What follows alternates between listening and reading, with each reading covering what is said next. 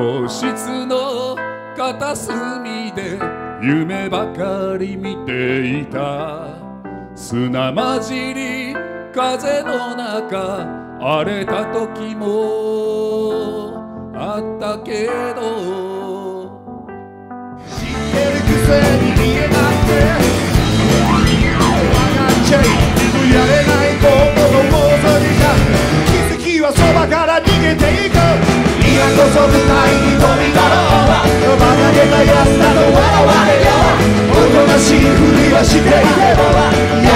chegada, eu não sabia agora.